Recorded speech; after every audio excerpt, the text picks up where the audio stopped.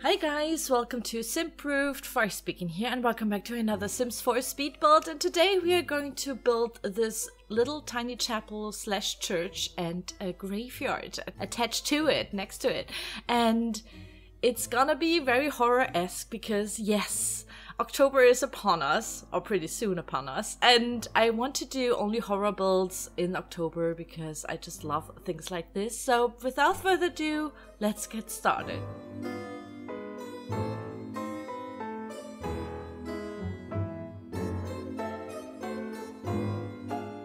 So, like I already told you, October is my favorite month because this is the only reason why on YouTube, without anyone complaining, I can do lots of horror builds since I'm a huge horror fan. And in my opinion, we don't have enough creepy builds in the Sims community. I mean, there are some, but yeah, let's just face it, there aren't enough, in my opinion.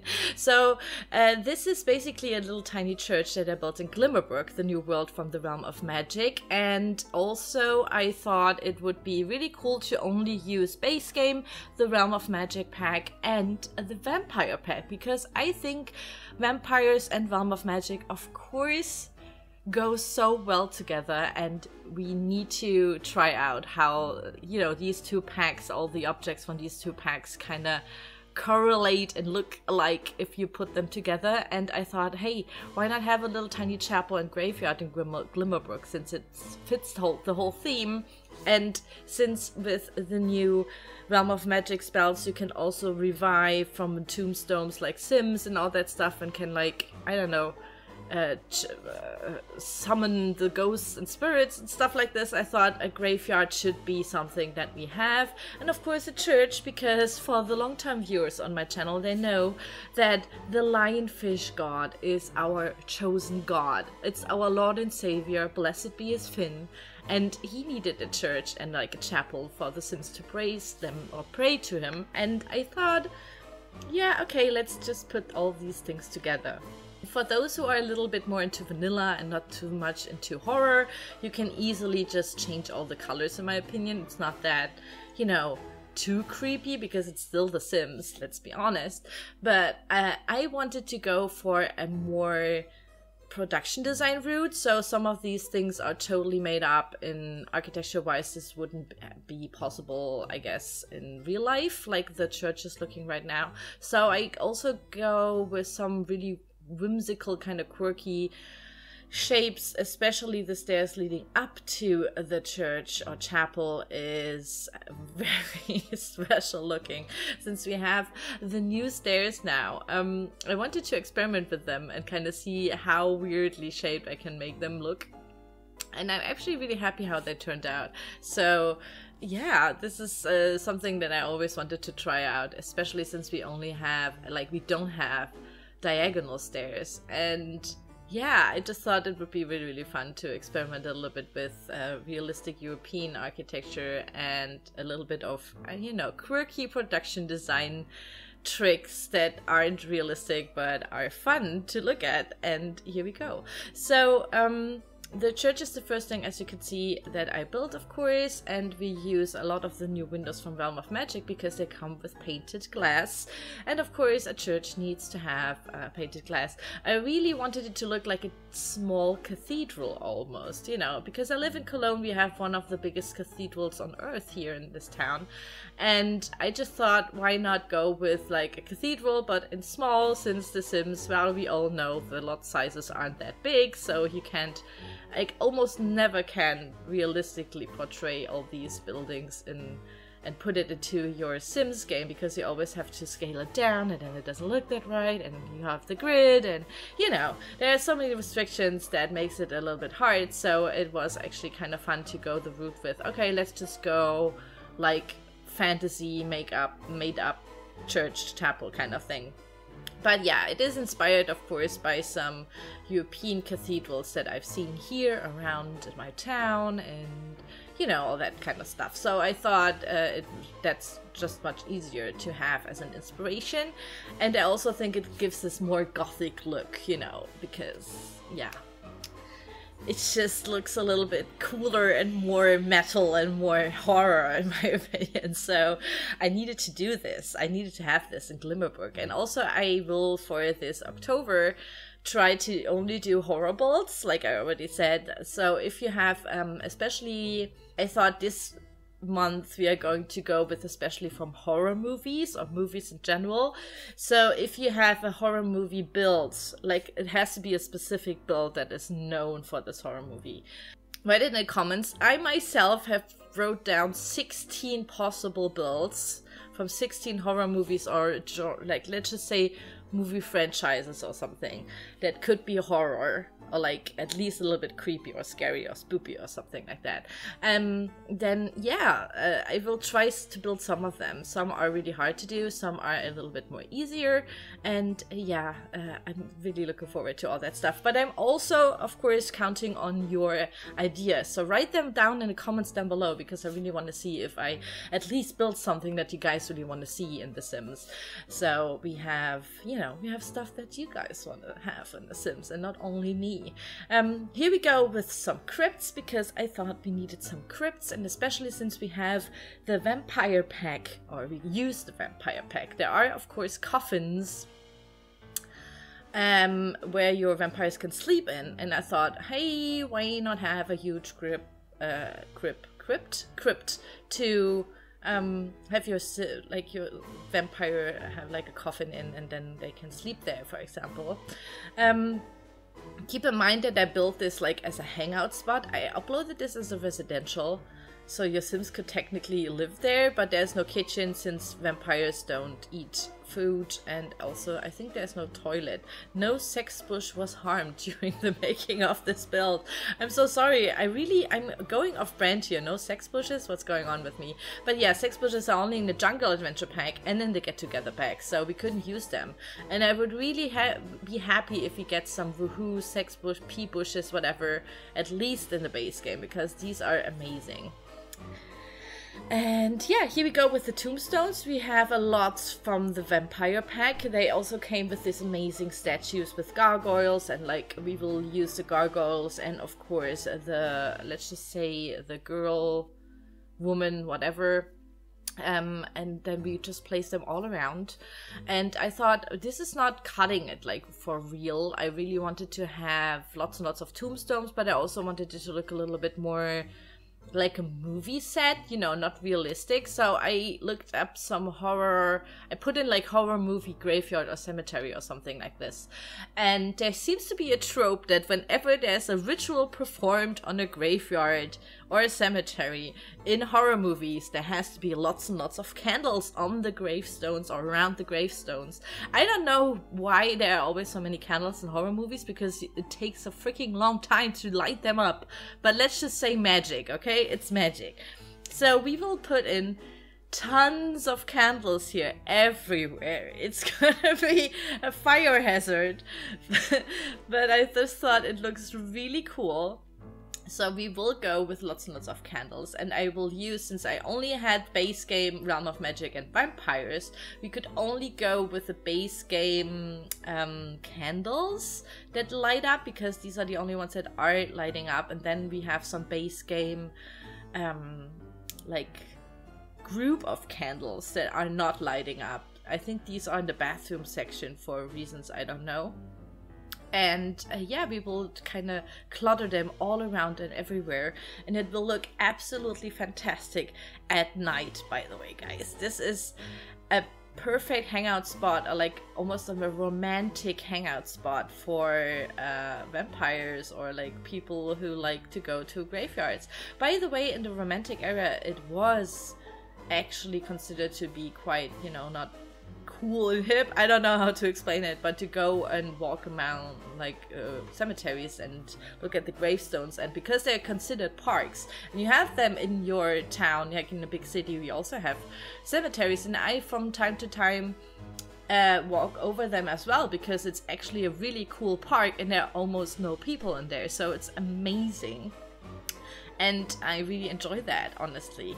And also, of course, you want to pick up the oldest tombstone and stuff, and like read the epitaphs and all that stuff. It's it's just uh, yeah, it's something that I like a lot, and it also teaches you a lot about history, especially here in Germany, because you can really see who died in the First World War and when did the I don't know, the wife die, and then the kids maybe died in the Second World War, and you know all that stuff. Because uh, yeah, you can kind of relate to to the ages when they died or when they lived you know it's kind of interesting so somehow. For me at least it is. Maybe it's creepy for other people but i sometimes really like to look at uh, cemeteries and graveyards and uh, yeah it's kind of like a more personal history lesson because you get it attached to real people who have really lived. So yeah. Um, after I've done the crypts, uh, we go into the church, and the church I really wanted it to look, like I said, like a ca huge cathedral. So, the cathedrals that I know here are made out of stone, of course. And we also have, of course, lots of benches to pray on and to uh, attend mass and stuff like this.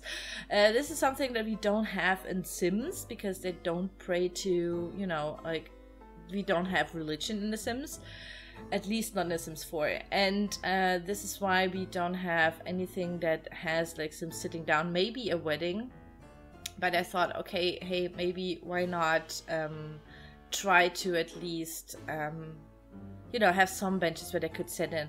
I don't put in a wedding arch because honestly, I hate weddings in The Sims.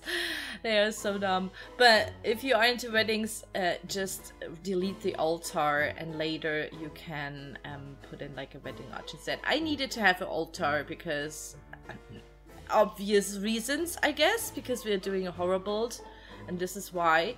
But yeah, this is why we, we do this kind of stuff here with the altar and stuff.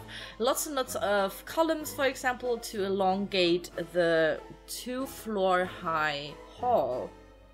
And lots of these statues, and later on we will also put in lots and lots of candles as well, because I really wanted it to look a little bit more creepy. Like a perfect church hangout spot for vampires or like the what's it called untamed magic in The Sims 4. And I just thought it's uh, like a cool, maybe like a cult or something. Of course, a lionfish cult. But yeah, I used lots and lots of the stuff from the vampire pack because honestly, they look a little bit more like it suits the whole, you know, cathedral, gothic cathedral kind of uh, vibe. And the werewolf wall pieces look like kind of like Jesus on a cross, so I had to use them. Kind of reminds me a little bit of Jesus on a cross. So we have them on the upper floor all over the walls as well, and they're looking down and blessing our little churchgoers there. I just thought that's like really really cute. Also, there are the huge candelabras from uh, chandeliers, not candelabras, chandeliers hanging from the vampire pack, um, and these are really, really cool and very detailed. I really like them. So we only go with candles all over the place. Like I think there is no electrical lamp. I'm not sure if I use them. Uh, it could be that the outside exterior lamps that uh, um, kind of light up the church from the outside a little bit uh, are electrical. But yeah, we wanted to go with like old school. So this could also be used in like a medieval kind of fairy tale uh, kind of gameplay. So I thought this is like kind of, you know, makes sense. Oh, and then when I actually already did everything, I thought usually you have like an organ in the upper floor. At least this is how it is here. So I put them on a little balcony, but your Sims can get to that organ. It's just purely decoration. But I made this on, like, you know, it's on purpose that your Sims can get there. I just needed an organ somewhere because it makes sense to have one in the church, of course. And yeah, upstairs in the tower, I will put a cauldron and like a secret kind of potion brewing room with some um, with a portal, with a magic portal all around. So your Sims can actually go through the magic portal and go to the hidden room upstairs and brew potions. And then, of course, lots and lots of lionfishes because lionfishes are, like I said, he's our Lord and Savior here. He is our evil demon god and I love him to bits, so I used him here as well. And I hope you uh, have him as well in the game because he's debug. Uh, he's a debug objects, and I didn't want to use so many of them because I'm still not sure if you can have them in your game, like if you download from the gallery and all that stuff. It's kind of fiddly because some debug objects show up, some don't, and yeah, I really want you to be able to download it from the gallery and use it right away and don't have to do any spooky, I don't know, cheats and stuff like that. So we go with that here. And here is the portal thing. So one portal in one corner downstairs next to the uh, tombstones and one is upstairs so there's a hidden room for the magic users or something like this. And here we go in the video tour. Like always there's a video tour so here we go. You can have a better look at everything. Look how beautiful it looks. It just fits into Glimmerbrook like i don't know it fits like a glove it fits like a church. It's amazing. It looks really cool very detailed. I especially used lots of details again but this is a smaller build so uh, it could run on those PCs and um, yeah, those PCs that aren't like the best ones, you know, graphic wise. So try it out, guys. Um, and I really, really like how it turned out. I especially like how detailed it is. I really like the new objects. And I must say, for a builder, if you want to do creepy builds, use Vampire and Realm of Magic. These just are prone to be together, okay? These are some things you need in your Sims game. I, I love it. It's a perfect mixture of everything. So here we are in some day shots. So these are like how it looks like at daytime basically or at dawn. And then we will also go, here we go with the night shots as well, because I really wanted it to, you know, to show you guys how it looks like at night, because it's so cool. It's like, ah, I love it. Uh, it's especially something that I super, like, I just love these kinds of builds so much. So I'm really looking forward to October if you have any ideas for creepy builds, horror movie inspired builds let me know. And um, please of course be aware that they take a lot of time for me because i'm like working full time and then i do this youtube thing here but this takes like a lot of time to build and then also edit and stuff. So if it's like a smaller build it would be i guess more realistic for me to get it done in time. And yeah, here we are in the church, which is my favorite part of everything. Lots of candles. Look at how amazing it looks. I just love it. Ah, and I really hope you like it too. If you do and you want to download this and put it into your game, I will put the download link in the video description down below. You can just click it and just download from there into your game. Really, really easy. And it's of course up on the gallery called Church and Graveyard. If you want to have that one, you can also search for it. Search church for it. Yeah, church for it. Yeah, church for it for church and graveyard, I guess I called it. And here we are with the lionfish god, blessed be his fin. And uh, yeah, it kind of looks really, really creepy, but also uh, I really love how the interior looks. It's very detailed and I really like it. It's one of my best churches so far. Um, and yeah, that's basically it, guys. I really, really hope you like it. Please subscribe to my channel if you haven't already and if you are into Sims 4 builds as well. Uh, for those who are suggesting stuff, members of this channel get like a plus bonus, so I will consider them more to be built. And also you guys get a special role on my Discord, have a special chat with me, and you know, all that kind of crazy stuff. Uh, and yeah, that's basically it guys. Thank you so so much for watching. If you like this like the video. If you don't like this give it a thumbs down. And yeah this is basically it. Thank you so so much for watching and i will see you soon. Bye bye